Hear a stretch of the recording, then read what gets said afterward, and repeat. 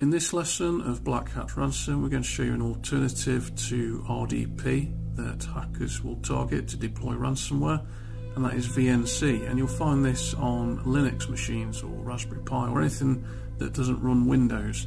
It's likely going to use VNC, and you'll find that on port 5900. So we're running Nmap scanner. We're using the dash "-sv command to find the version and we find VNC running on port 5900. Now we can now use Metasploit. Uh, there is a vulnerability that can be used uh, with Metasploit. Uh, this is the Metasploitable machine that I'm using for this demonstration. There's a deliberate vulnerability and that is password credentials. So it's not a, a technical exploit, it's just taking advantage of poor credentials and there is a scanner in Metasploit that you can use to take advantage of it. So I've typed in MSF console. I'm just going to go through these steps to run the database and we'll head into it. So hopefully this won't take too long.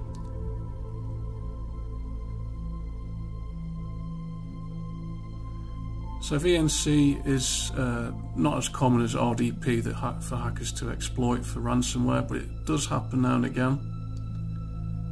So if you type in search VNC underscore login, and we have an auxiliary scanner here for VNC. So we just use zero because that's the only option we've got on the list here.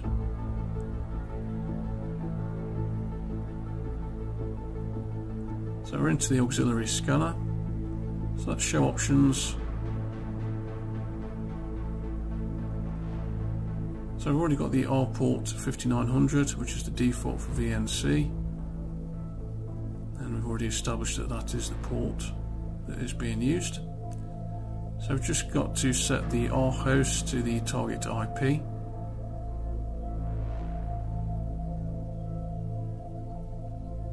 So set hot set our host, then the target IP address, and this is the uh, IP for the Metasploitable machine that I'm using for this demonstration.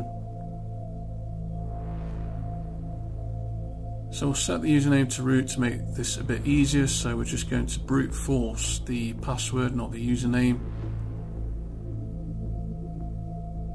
So that's all set now. Made the changes. So let's just click uh, type in run. And there we go, we've got login successful. And it's deliberate weak credentials, they've just used password for the login. So the next step would be to then try and get the remote access and we can use uh, an alternative to the uh, X3 RDP viewer, we've got GVNC viewer. So we could then be able to view the desktop of the victim's machine. So we type that in, GVNC viewer, then the target IP address, hit enter, we enter the weak credentials, which we know now is password.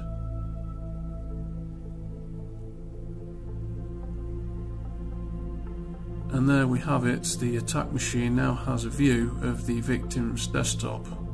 They can do things on the victim's machine remotely. And hackers will want remote access like this to deploy ransomware.